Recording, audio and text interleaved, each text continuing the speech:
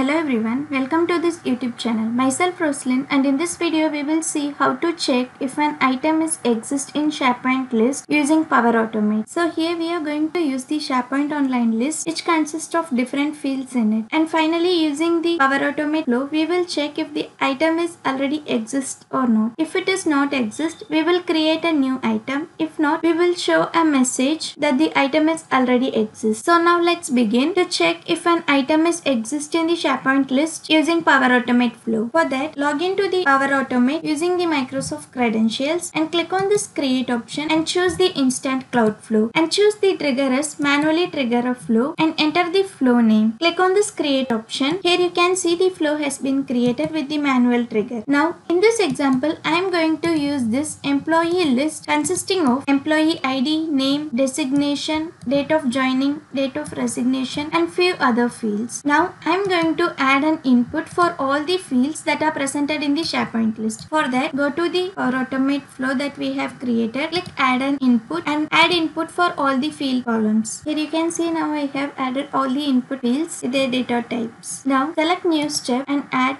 get items to get all the items from the SharePoint list so that we can check if the item is already exist in the SharePoint list or not. Here choose the site address. In my case it is Power Automate Development. Click on it and choose the list name. Here it is the employee list. Click on it. Now Expand the show advanced option and add the filter query to check the column internal names are equal to the user requested values. For that to check the employee ID this is the default title column. So here I will be using column internal name called title is equal to user requested input value called employee id so here in this filter query we are going to check the unique values called employee id then employee email address and the contact number. So we are going to add our condition is equal to the employee email address. Similarly for contact number we are going to add contact number is equal to user requested contact number. From the dynamic content pass the contact number. And this is the filter query condition. So based on this it filters the value from the SharePoint list and returns. Now select new step, add a condition control and check if the length of the get items value is equal to 0. From the dynamic content pass the values and under expression click on it OK. So it checks length of the output of get items is equal to 0. Then in that case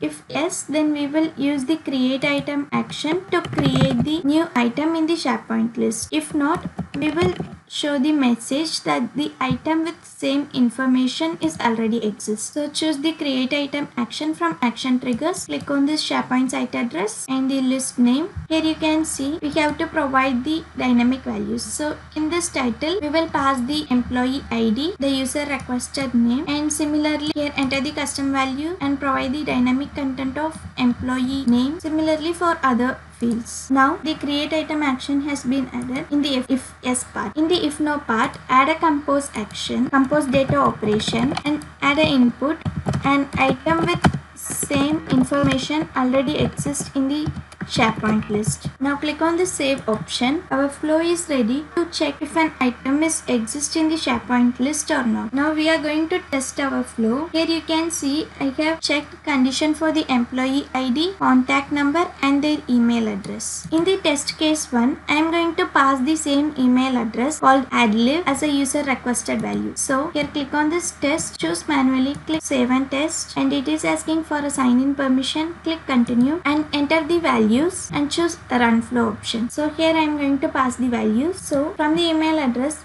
I am going to pass the already existing SharePoint list email address value adlib events. Here I am going to pass the date of joining and I am going to click on the run flow option. Click done. Here you can see our flow ran successfully and it gets all the item from the SharePoint list. Here it takes the user input value and the email address as the adlib which is already exist in our SharePoint list email address. So it should not create the new item in our SharePoint list. So in this condition it is false and it displays an item with same information is already exist in the SharePoint list. So this is how we can check if an item is exist in the SharePoint list or not. Similarly we will see the other test case. So here I am going to edit this flow, click test and here I am going to pass the unique address has the unique employee values with the unique contact number unique email address and also and also the unique employee id click run flow and choose run flow. Click done. Here you can see our flow ran successfully and it checks the condition and it's create the new item in our SharePoint list. Just because the particular item information is not already exist in the SharePoint list. So this is how we can check if an item is exist or not in our SharePoint list using Power Automate flow. And if it is not exist, we will use the create item action to create the new item in our SharePoint list. If not, we will display that the item with same information is already exist in the SharePoint list. I hope you like this video and these are the free video tutorials that are presented in our YouTube channel. Please check it out and please do subscribe to our YouTube channel for more videos. Thank you.